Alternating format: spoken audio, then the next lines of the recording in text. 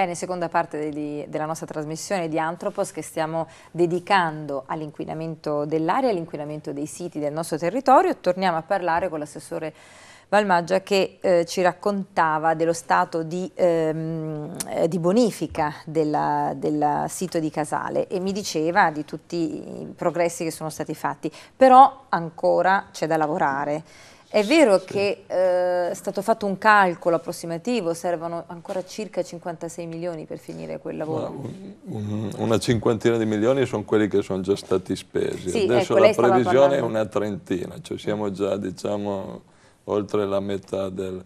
Però il problema che mi pongo come assessore all'ambiente della regione è, è di eh, fare attenzione non soltanto ai siti nucleari, ai siti nazionali, quindi Casale, ma il fatto che l'amianto è dappertutto, è okay. in tutte le città del Piemonte è uno degli obiettivi che vorrei perseguire, adesso si va per slogan, si diceva eh, Europa 20-20-20 entro sì, il 2020 certo, eccetera, così, certo. perché io vorrei aggiungere a quei 20 anche uno zero, cioè arrivare a un certo punto in un, in un arco ragionevole di tempo a un Piemonte amianto free, cioè che, che sia eliminata questa È un progetto parte. grande quello. È un progetto grande e importante però, al quale dobbiamo mettere mano perché eh, il tempo di latenza di queste fibre è di 20-30 anni, si sta aspettando adesso il picco di, di, di Il tempo di latenza oltre quindi, il quale poi avviene lo sbriciolamento di cui lei parlava? No, il tempo di eh, incubazione ah, della malattia. Sì, certo. Io posso aver lavorato, operai che hanno lavorato vent'anni certo. fa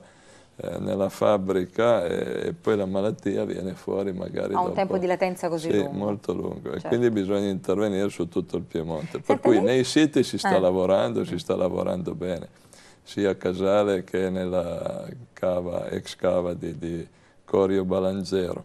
Eh, il problema è sensibilizzare tutti Perché che questo... Perché i no... Barangero sono interessati esatto, dallo stesso sì. problema. Però far capire che il problema dell'amianto non è dei casalesi, eh certo. è dei torinesi, è dei Beh, biellesi, è, è dei piemontesi. sito nazionale addirittura proprio perché probabilmente è comunque un argomento. Un problema, sì, però il sito nazionale è la bonifica di quel eh, sito quel lì, sito ma lì. il tema dell'amianto è un tema addirittura, noi abbiamo anche la responsabilità come Piemonte del coordinamento ambientale di tutte le regioni d'Italia. Certo. Io vorrei che fosse un problema di tutte le regioni d'Italia, certo. perché non è il problema dove si fa l'amianto, ma è dove è stato distribuito. Dove è stato, dove è stato costruito. Col, collocato e distribuito. Lei prima ha fatto un cenno al patto di stabilità rispetto... Eh, sì, è una... di pubblicità poi. Sì, perché si era creata questa situazione paradossale che il soggetto attuatore per conto del Ministero dell'Ambiente mm -hmm della bonifica, quindi al quale adesso gli sono stati dati, aveva mi pare 3 o 4 milioni di euro da spendere, eh, sono stati erogati un altro milione e mezzo, però ehm, non poteva spenderli perché usciva dai vincoli del patto di stabilità. E allora si è chiesto una deroga, così come si sta chiedendo adesso per il dissesto idrogeologico, eh certo, cioè dobbiamo certo. mettere a posto le frane, le strade, insomma quello che è successo. Infatti non è previsto un incontro con l'Anci per questo motivo o si sono informata male? No, c'è anche l'Anci, ma lì è una scelta governativa di, di, mm. di, bilancio nazionale che deve dire alcune cose, come si è fatto per la messa in sicurezza delle scuole, per, cioè, ci sono alcuni elementi per i quali prevale la pubblica utilità e quindi prevale la necessità di fare l'intervento certo. rispetto al mero dato di bilancio e del rispetto dei conti.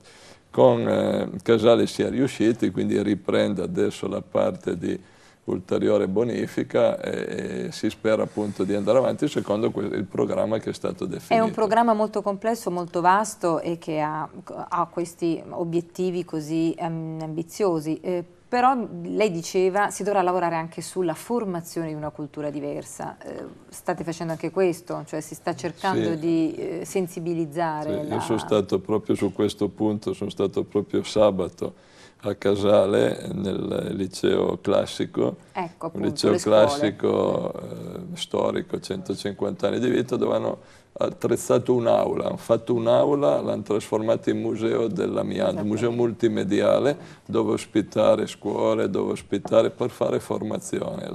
La scuola i giovani, i nostri ragazzi sono il veicolo devo per far che, passare buone prassi. Esattamente, devo dire che felicemente devo constatare che in uh, quasi tutti gli argomenti che trattiamo ormai vedo un intervento sulla scuola molto forte e questo è rincuorante perché poi in realtà sono le generazioni che verranno, sono, è da lì che parte future, la rivoluzione. Ma sono certo. quelli che riescono a educare i genitori. È vero, perché... è vero, adesso sì, adesso sì. Allora, a proposito dell'informazione, volevo dire che, eh, e, e della sensibilizzazione di questo problema, ehm, stanno per girare un film, proprio a Casale, sul problema dell'amianto, un film di, diciamo, di profonda denuncia, eh, la regia di Francesco Ghiaccio, lo sceneggiatore e il regista sarà ehm, Francesco Ghiaccio, ma sarà interpretato da Marco D'Amore, che è il ragazzo che ha, eh, era protagonista di Gomorra sulla, sulla, eh, sul serial di Sky e questo è molto importante perché sarà un film eh, che si aggiungerà a tutte le cose che vengono trasmesse per migliorare la cultura. Mm, eh, dottoressa, torniamo alla composizione, dicevamo prima. Allora, intanto, eh, perché siete qua insieme è importante spiegare che il vostro lavoro poi è un lavoro fatto in, è, è, coordinato, è fatto in staff. Eh, questo, devo dire, è una piacevole scoperta che abbiamo fatto incontrando spesso l'istituto zooprofilattico e rendendoci conto che questo istituto così importante in realtà collabora con la maggior parte delle istituzioni del territorio, ehm, gli assessorati all'ambiente e gli assessorati alla sanità, quindi stiamo parlando di un lavoro strettamente connesso. Questo vuol dire che c'è un passaggio di dati su quello che, eh, che vi comunicate e che fate. Ehm, dicevo, a proposito di questo, torniamo sulla composizione delle sementi. Prima abbiamo accennato a quanto è importante la composizione dei mangimi degli animali. Anche lì, che cosa accade nel mercato dei mangimi? Eh, pensiamo che il 50% delle, delle, calorie prodotte nel mondo va ai mangimi, va alla, alla materie, materie, prime per fare alimentazione animale, quindi veramente la partita dei mangimi, del, del feed, no? noi ci occupiamo di food and feed, quindi cibo per l'uomo e cibo per gli animali, è una partita enorme perché tantissimi contaminanti passano, a, eh, arrivano a noi attraverso il cibo degli animali. Per ricordare soltanto quella che è un po' una io dico una, una, specie di storia che si ripete, quella delle, delle diossine nella, nei mangimi, da materie prime che provengono dal nord Europa, dove non c'è una cultura della materia prima dell'alimentazione animale così profonda e radicata In Nord Europa? Nord Europa regolarmente quando lei legge le, le polialedossine, le suinadiossine, sì. sono sempre animali che sono stati nutriti o le, i maiali dall'Irlanda, i polli dal mm. Belgio, insomma queste, eh, questi paesi, eh, con, con, tutto il rispetto che si può dire, però sono quasi sempre all'origine delle grandi crisi delle diossine nella, non credevo che, che, nascessero da lì. Nascono spessissimo da lì perché sono, hanno più volte fatto ricorso a un'alimentazione, a un'integrazione dei mangimi con oli industriali addirittura, con residui della produzione industriale. E, e, quindi con una produzione di materie prime che eh, di, di, conseguenza è, è addizionata di, di, diossine, chiaramente senza una volontà di voler aggiungere diossino PCB, ma di usando delle materie prime di, di, insomma, di derivazione delle, di scarti industriali, eh, chiaramente l'alimentazione la, stessa degli animali che poi possono arrivare a noi, perché possiamo, noi siamo importatori, ricordiamo anche di, certo. tanti prodotti animali possono, eh, quindi quello che è una disattenzione, sì, una disattenzione di altri paesi, una scarsa attenzione di altri paesi, arriva, si ribalta poi sul nostro prodotto. Quindi è una, è una, è una Senta, sfida Qualche volta delicata. ne abbiamo parlato anche mm. in precedenza. Il problema è che ehm, noi siamo un paese fortemente sottoposto a controlli per quanto riguarda la sicurezza alimentare, forse non al pari dei paesi, di molti paesi esteri. Questo è il problema, giusto? Quando importiamo c'è un, uno scollamento sì, no, bisogna, sì, bisogna ricordare che quello che circola in Europa è sottoposto agli stessi criteri di controllo dell'Italia, cioè l'Europa ormai è un unico cioè, paese un alimentare. Mm. Con dei pro e contro, perché per esempio adesso con la discussione del TTPI, cioè della, del trattato internazionale con gli Stati Uniti sì. no, sul commercio, questo apre il fatto di avere dei eh, criteri di controllo, una cultura così diversa tra Europa e Stati Uniti apre un, certo. una, bella, una bella discussione perché rischiamo di tirarci verso il basso, non di salire verso l'alto. Però l'Europa come normativa, come, eh, è un paese solo. Cioè quello che in Europa è un paese europeo un rischio alimentare lo è anche per l'altro paese. Questo sembra banale ma è fondamentale, cioè non è possibile che so, i solfiti certo. nel salame in Italia non siano, siano un problema, problema e fuori, no. fuori sì, in un altro paese non siano, perché ormai la circolazione okay. è completa. Poi chiaramente ci sono ancora delle aree migliorabili, però il criterio di assoluta eh, condivisione. E poi abbiamo, eh, che sono veterinari, i posti di ispezione frontaliera, cioè dove entrano gli alimenti, Porto di Genova, certo. Malpensa, certo. ci sono delle ispezioni sugli alimenti che, che arrivano, di modo che se non sono conformi, cioè se non sono adeguati ai criteri europei non solo vengono immediatamente respinti, ma la comunicazione avviene immediatamente tra tutti i paesi. Okay. C'è una specie di grande occhio che si chiama RASF, che è sistema allerta rapido, sì. che deriva sempre da Mucca Pazza, che è stata veramente la madre di tutti certo. i miglioramenti, oltre certo. che di tanti disastri. Tutti i paesi vengono allertati e controllano quel tipo di alimento che Perché comunque i paesi che eh, portano i loro prodotti da fuori, eh, che, che, siano estranei all'Europa, comunque hanno un linguaggio, di, seguono una scuola diversa di, di, diciamo, certo. di controlli, certo. quindi quel passaggio ci deve essere. Certo. Eh, rimanendo Mucca Pazza, perché lei diceva giustamente Mucca Pazza è stato lo sliding doors, ha fatto il, la differenza diciamo, nella, nella cultura dei controlli.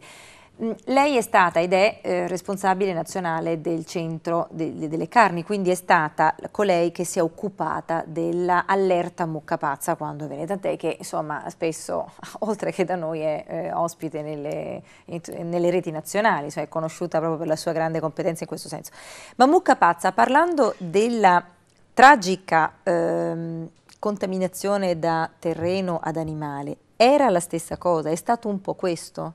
Cioè l'animale che, che, noi definiamo mucca pazza, che veniva colpito da questa variante che ha un nome stranissimo che non riesco a ricordare, era un animale contaminato dal terreno inquinato? Che no. cos'era? Mucca pazza è legata al cannibalismo, no, al cannibalismo, cioè all'introduzione di una tecnologia alimentare per cui si utilizzavano i residui di macellazione, cioè mm. quello che si butta, non si butta niente dell'animale, quello che non si poteva utilizzare come cibo, così, veniva trasformato in farina. Di, era un problema di, di, di, di, di mangime, di, farina e di carne d'ossa, per cui tutto... Uh, quel, eh, il poco di, mm, di, prione, cioè questa pro, mm, insomma, proteina patologica che causa la malattia di Creutzfeldt-Jakob, la variante di Creutzfeldt-Jakob nel caso specifico della mucca pazza, è stato amplificato, cioè parliamo di una malattia rarissima anche del bovino, che invece con l'utilizzo, dei suoi stessi residui di macellazione è stato amplificato. Un grammo di cervello di un bovino contaminato può, eh, può ammalare Scatenare. migliaia di altri bovini. Quindi è, è stata proprio un'amplificazione causata da una, dal tipo mangimi. di mangimi. Mm. Mangimi addizionati di proteine animali perché c'era una richiesta eh, innalzata di proteine animali, quindi per produrre più latte le mucche avevano certo. bisogno di più proteine. Dove trovare le proteine meglio che dal, certo. stessi, dagli stessi avanzi di, di, macellazione piuttosto che da vegetali. È stato un vero meccanismo perverso. È stato un meccanismo amplificato eh, dal, dai mangimi. Però diciamo che la conseguenza positiva è stata che l'unica, insomma, è stata però che ha creato uno stato di allerta eh, ha alzato il livello ha di allerta. Ha creato una cultura altissima, eh. ricordiamo che la tracciabilità, che ormai è un concetto acquisito, nasce da Muccapazzo, cioè da sapere eh, certo. i passaggi che portano a cosa ci porta la tavola, cosa che negli Stati Uniti non è così acclarata. Non è così scontata. Tra l'altro è stata un'azione proprio contro natura, cioè noi parliamo dei bovini che sono certo. i ruminanti, il certo. massimo degli erbivori eh e li nutriamo invece con, con, con, proteine, con certo. prodotti sì, sì. di origine animale, certo. quindi come fossero carnivori, quindi è, sì, è stata una cosa contro natura per forzare, forzare, forzare, ma è chiaro che se le nostre bestie continuano a fare quello che facevano eh, certo. se, da sempre, cioè eh, certo. pascolare, ruminare, fare il latte, eh, certo. il problema. Assessore, ehm, eh, spostiamoci anche agli inquinamenti dell'aria, sì. abbiamo parlato del, dell'amianto, è una cosa di cui eh, come redazione negli anni abbiamo sempre seguito l'andamento, devo dire che anche qui è cresciuta molto la cultura, sono, sono aumentati i provvedimenti, sono, sono, aumentati anche da parte delle istituzioni che ormai si preoccupano del regolare il traffico, di gestire ehm, la qualità dei motori che circolano. Ehm, ecco, allora le faccio la domanda più semplice, a che punto è lo stato dell'aria, almeno nel nostro territorio?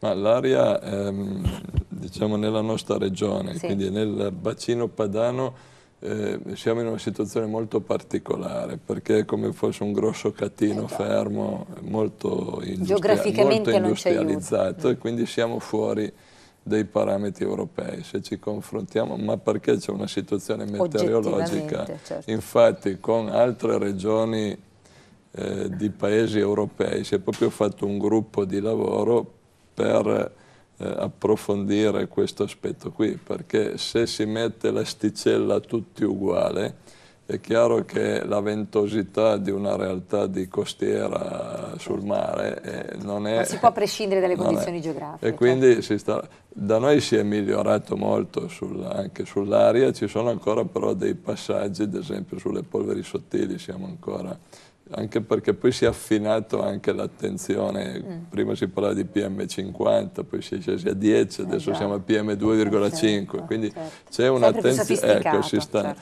però si è migliorato, io penso a Torino, alla all'aspetto molto positivo ad esempio del teleriscaldamento. Eh già, certo. Il teleriscaldamento ha contribuito molto a bonificare tutta la partita del, delle auto e dei mezzi che transitano. Certo. Insomma, Sono state tutte misure che hanno favorito. Il, il traffico limitato, cioè, perché le sorgenti sono o riscaldamento eh o il traffico o le industrie, queste certo, sono le certo. tre.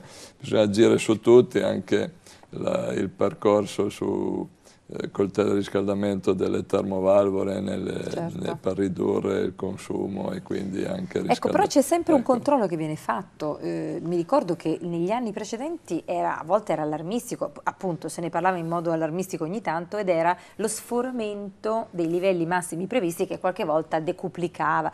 Oggi noi che poi, in sì, media... Sì, che poi si arrivava alle, alle domeniche sì, ecologiche, al blocco del traffico, eccetera. Allora, tenendo conto che le misure sono aumentate, proprio in questo senso come diceva lei, poi c'è stata un po' di deindustrializzazione, purtroppo eh, anche sì. a scapito della quella che poi ha provocato la crisi, però vuole anche dire che ci sono meno siti industriali. Ecco, per tutto questo, questi famosi sforamenti sono un po' diminuiti o sono sempre... No, no, si è migliorato questo... Vi ricordo che a volte si parla di sforamenti di, adesso sì. non vorrei sbagliare, ma 30 no, no, volte, 20-30 sì. volte.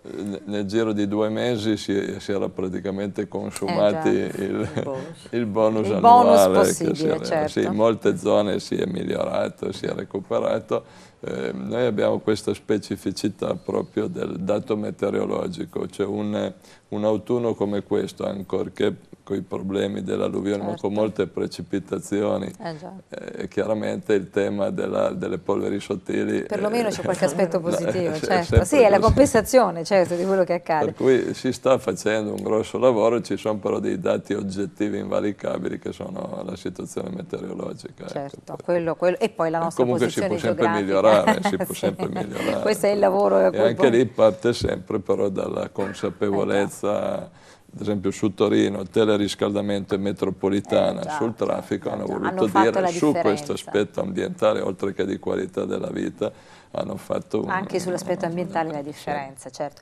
Senta Assessore, l'altro argomento eh, importante, una risorsa, ma è stato anche una discussione, è l'inceneritore. Ecco, l'inceneritore eh, come si colloca in tutto questo?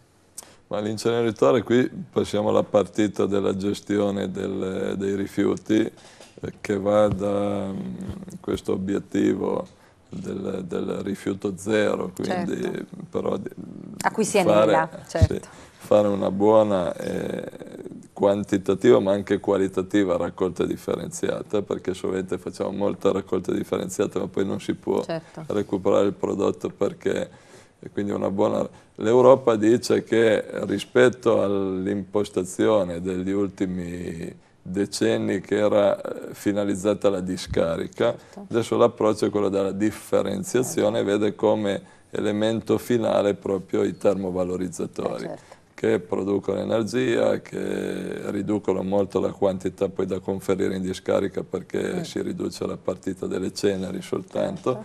Che vanno però monitorati con attenzione come fumi. E lì interviene l'ARPA, intervengono i soggetti che hanno sì, il compito il problema di, questi impianti che sì. sono ipertecnologici e poi però la loro manutenzione, il loro Ci controllo. La manutenzione le... bisogna investire, non aver paura di investire nel, nei filtri eh, certo. per l'aria che esce eh, certo. e allora diventano sostenibili, diventano compatibili come sono in tutti gli altri paesi d'Europa. Senta, solo per, poi per chiudere il discorso, anche se poi la partita dei rifiuti è una partita enorme che non può essere liquidata in puntata. poche parole, sarebbe un'altra puntata, ma eh, per sapere, la eh, raccolta differenziata a Torino e nella regione, che, in che percentuale siamo, si ecco, aggira? In, in, media siamo oltre il 50%, 55%, con delle punte di eccellenza, penso per usare per città grosse tipo Novara, che siamo oltre il 70%, l'obiettivo è quello di far crescere, perché abbiamo delle eccellenze dove si lavora molto, molto per bene. la differenziata, però dobbiamo far crescere un po' tutto, non, non, non Cercare funziona di alzare il livello ecco, avere, non funziona la tutti, media, ecco, devono essere tutti Non, non basta la media, bisogna che tutti siano sopra la sufficienza, certo. quindi si è fatto un grosso lavoro, si può ancora migliorare soprattutto diciamo, nella qualità del differenziato che certo. poi diventa poi riutilizzato, eh, quindi certo. diventa eh, fonte di Beh, perché ricchezza. il virtuosismo di un inceneritore è quello poi di recuperare, produrre energia, recuperare i rifiuti, insomma. Ecco, ma io all'inceneritore mando quel certo. 40, 30, cioè del certo. 30% recupero ancora la parte che può diventare combustibile da rifiuto certo. e quindi certo usare quella, ma no, sulla no, parte di differenziata di che vuol dire anche lì lavorare a monte sugli imballaggi, certo. sulla consapevolezza certo. dei cittadini, ridurre gli imballaggi, cioè fare una buona differenziata che vuol dire un buon recupero e quindi eh, però lì è tutta un'altra... Le faccio una domanda prima di passare alla dottoressa Caramelli che è, essere, è proprio la domanda io sono un cittadino, proprio la domanda è del cittadino. Allora, dicevamo, questi sono impianti ad altissimo profilo tecnologico,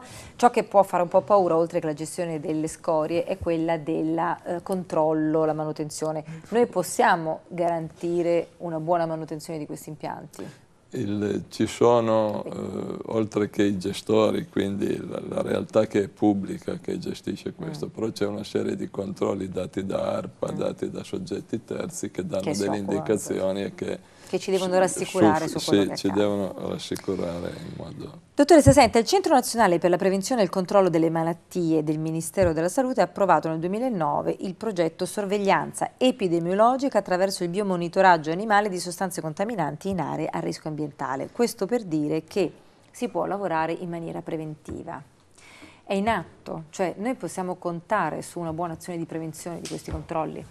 Sì, non solo successivi. Sì, ci sono controlli eh, che ci sono sempre generali, tutti i giorni, dobbiamo ricordare che anche se magari leggiamo sui giornali che dei NAS che fanno eh, degli scoop, certo. però eh, di fatto cosa ci caratterizza come paese e poi in particolare aggiungerei come regione, come sicurezza alimentare, è l'altissimo numero di controlli quotidiani, tutti i giorni, indipendentemente dal, dal sito più certo. pericoloso o meno nel senso che tutti i giorni vengono controllati ehm, tutti i passaggi della, della, filiera alimentare.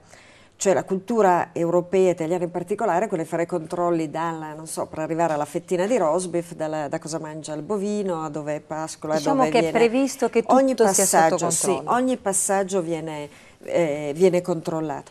Chiaramente la, la, non è tutto così semplice perché la grande, eh, insomma, l'altra la, la, faccia della medaglia è quello dell'elevato costo dei controlli certo. dal punto di vista chimico, cioè se fare, cercare un batterio, cercare la listeria nel formaggio, la salmonella, così tutto sommato, insomma, eh, permette di fare grandi numeri.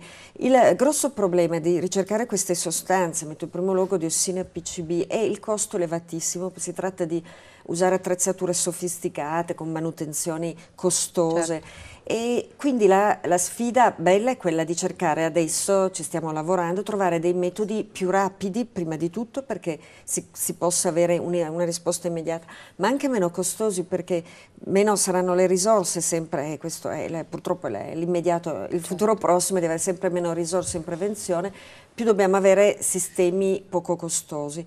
Questi poco costosi ci permetteranno anche di fare grandi numeri.